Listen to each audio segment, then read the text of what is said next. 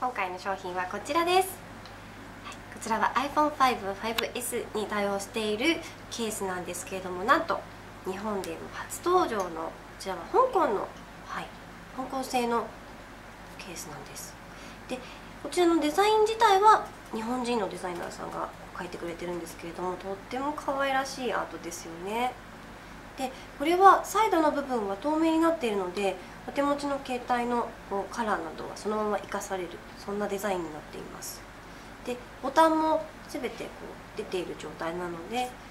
つけたまま全てコードをつけることもできます。あとちょっと珍しいのがここに穴が2つあってこれがですねストラップをつけることができる穴なのでちょっと自分の携帯に今までストラップがつけられなかったっていう人はこれはとてもあの便利になってるんじゃないでしょうか。でさらにですね今回こちらの商品に付属でまずホームボタンにつけられるアクセサリーがついてます。これももしあのお好みでつけたいなっていう方は選んで貼ってこうポイントにすることもできます。そしてですねもう一つすごく可愛いのがこちらです。こちらの